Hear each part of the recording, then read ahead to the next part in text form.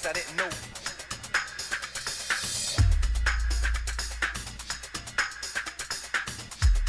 I guess I didn't know.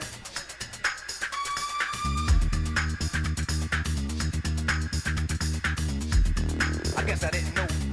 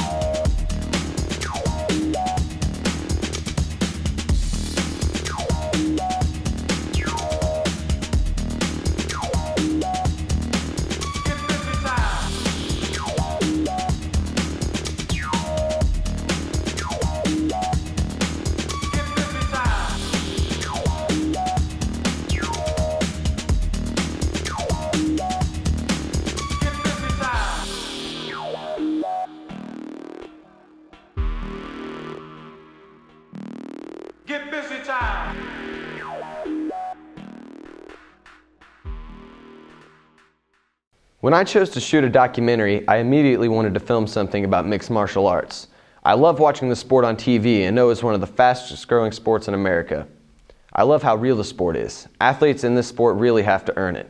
Unlike some other prima donna athletes that feel the world owes them a favor.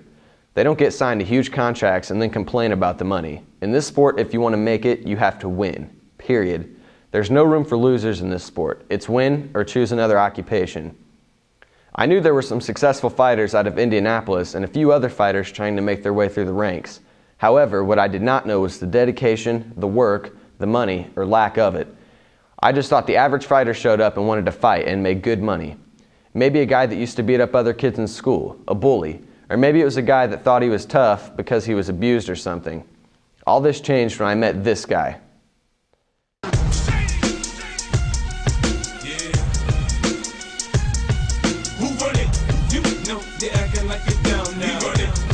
Know but you acting like it down now. Who run it? You know they acting like it down now. We run it. You know but you acting like it down now. You know they acting like it down now. I tell the club up from show. This flow is gonna bring mojo. You know but you acting like it down now. Now, I say I run it, run it, cause I'm in control.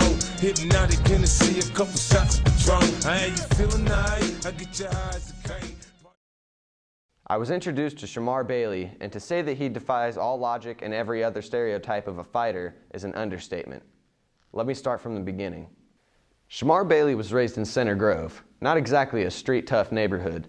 This is basically an upper middle class Caucasian area south of Indianapolis. To top it off, he had been homeschooled almost all of his academic career. His dad was a chemical engineer and his mother a college professor. So much for the tough streetwise upbringing. Uh, childhood growing up. Uh, had two great parents, you know, uh, very blessed with that. Not everybody has that, uh, that privilege. Very strict uh, household, very uh, rigid, uh, regimented.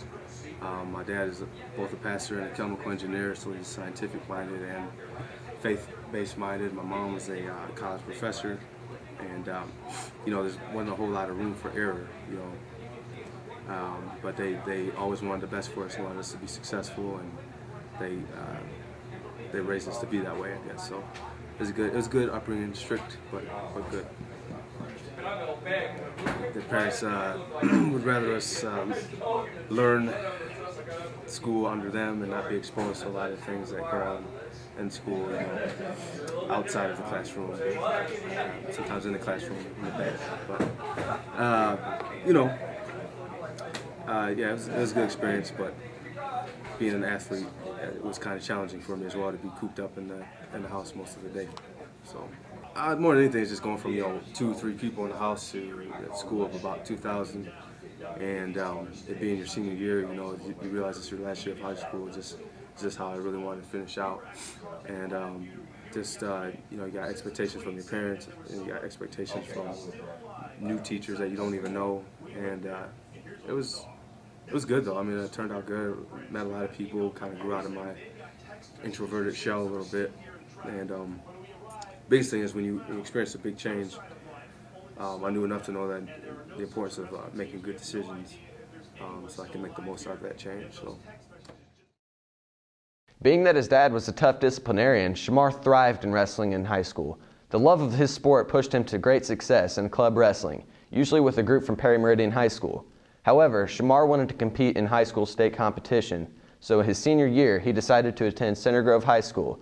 In his only year of state sanctioned high school wrestling, he went to the state finals. You know, my dad introduced me to wrestling when I was, I want to say, four years old, um, when we lived in New York on the East Coast.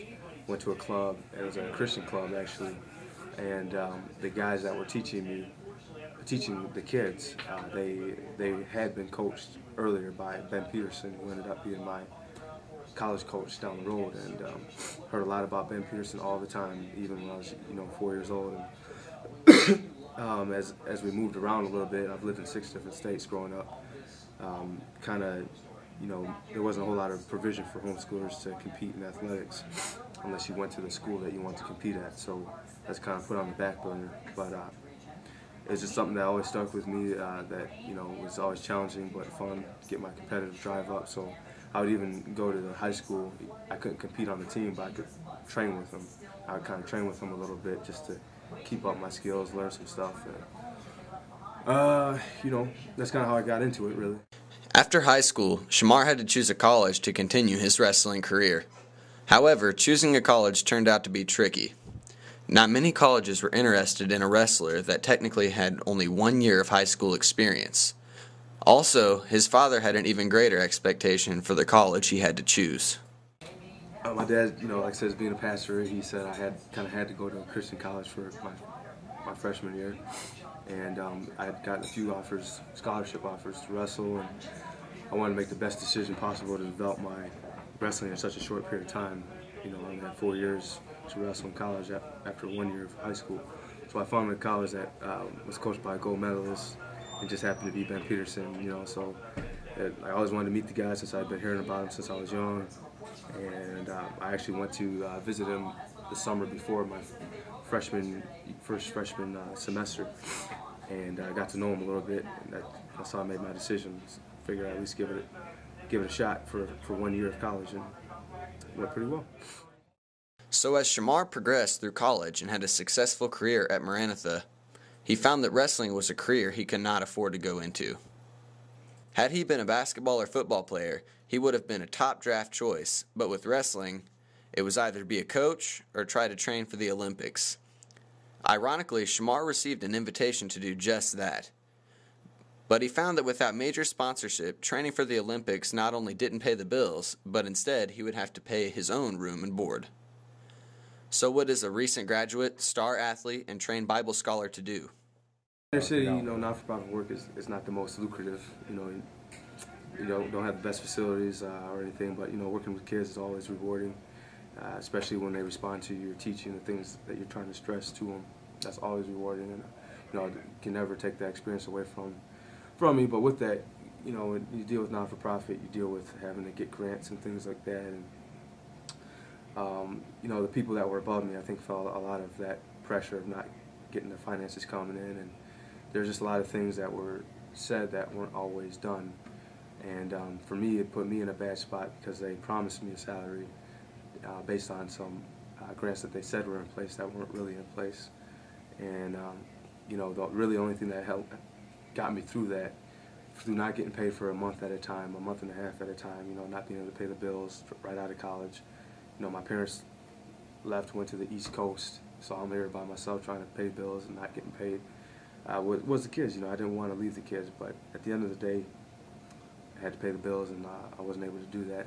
So um, I had to put in my resignation about nine months into into uh, my job there.